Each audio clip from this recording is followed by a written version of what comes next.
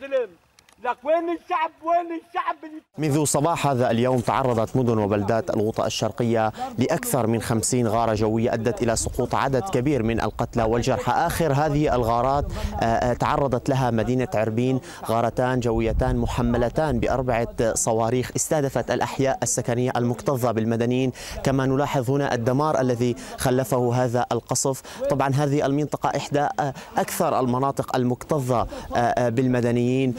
التي تعرضت اليوم آه، لهذا القصف. طبعا الدفاع المدني تحدث عن سقوط عدد من الجرحى في هذه المنطقة آه، الآمنة وتم نقلهم إلى آه، المشافي. ولا تزال طبعا عمليات البحث جارية. كما نسمع يعني أصوات القصف على الغوطة الشرقية تكاد لا تهدأ غارات جوية طائرات استطلاع قذائف تتساقط على مدن وبلدات الغوطة. معنا هنا أحد المدنيين ليحدثنا عن هذا الاستهداف منذ صباح هذا اليوم. اليوم تقريبا بالغوطة الشرقية أكثر من 50 غارة جوية على مناطق ومدن بلدات الغوطة الشرقية.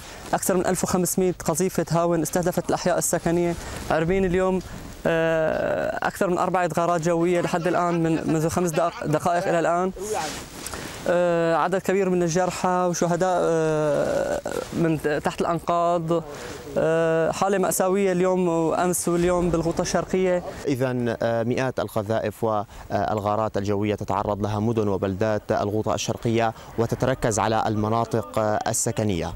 يمان السيد أورينت نيوز ريف دمشق.